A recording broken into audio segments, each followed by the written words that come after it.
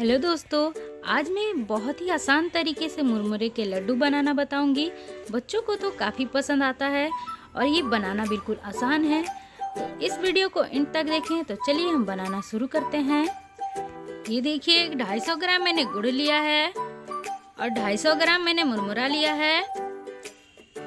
और दो बड़े चम्मच मैंने उजला तिल को थोड़ा सा भून लिया था और दो बड़े चम्मच शिंगदाना इसको बादाम भी बोलते हैं। इसको भी मैंने अच्छी तरह से भून लिया है। तो चलिए हम अगले प्रोसेस में चलते हैं।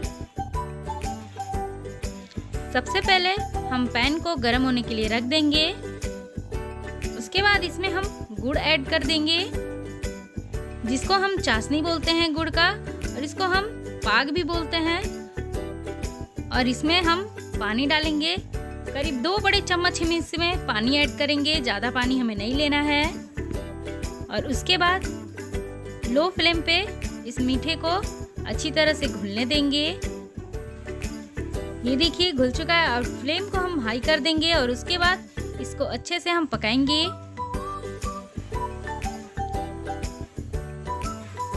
इसका हमें पाक बना के तैयार करना है। ये देखिए, बिल्कुल इस तरह से और चलाते रहना है ताकि सटे ना।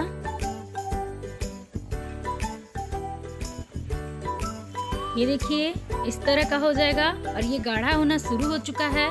उसके बाद चेक करने का बहुत ही आसान तरीका एक कटोरी में पानी ले लेंगे और उसके बाद ऐसे पाग को डालेंगे। तो पानी में ये जम जाएगा और हाथों से अच्छी तरह से ये बाहर निकल आएगा। तो ये देखिए, ये बिल्कुल रेडी हो चुका है। थोड़ा सा इसको हम अच्छी तरह से फिर से चला देंगे। तो ये देखिए बन के बिल्कुल रेडी हो चुका है। तो चलिए हम अगले प्रोसेस में चलते हैं। सबसे पहले कोई बर्तन ले लेंगे, उसके बाद उसमें हम मुरमुरे को ऐड करेंगे। और इसके बाद बादाम और तिल है, उसको भी हम इसमें ऐड करेंगे। और इसको अच्छे से हमें मिक्स कर लेना है। और उसके बाद हमें हाथों से नहीं मिलाना है, एक चम्मच ले लेना है। और उसके बाद इस पाग को हम इसमें ऐड करेंगे। और इसको चम्मच की सहायता से ही मिलाएँ क्योंकि बहुत गर्म होता है। तो ये देखिए इस तरह से।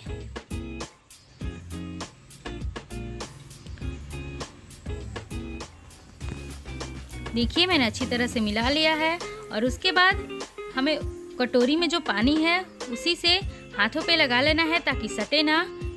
और ये देखिए बिना पानी लगाए आप करेंगे तो बहुत हाथ में चिपकेगा और इसको इस तरह से करना है ताकि ये गुड़ जो है, मीठा, ये जो चाशनी बनाया है, अच्छे से मिक्स हो जाए और ये इस तरह, इसलिए करना है ताकि ये बंध जाए एक दूसरे से।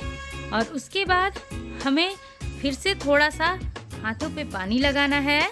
ये देखिए, इस तरह से। और उसके बाद हमें थोड़ा थोड़ा लेकर एक छोटे से लड्डू के आकार का बनाना है। ये देखिए, इस तरह से दोनों हाथों से करके हम बनाएँगे।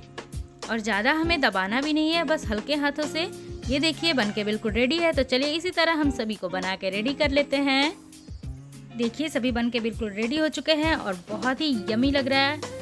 तो अगर ये मुरमुरे की लड्डू बनाने की रेसिपी आपको पसंद आई हो तो इस वीडियो को लाइक एंड शेयर करें जो चैनल पर है, उसको सब्सक्राइब करना ना भूलें। और जो बगल में बेल आइकन उसको दबाना ना भूलें, ताकि मेरी अगली आने वाली वीडियो का नोटिफिकेशन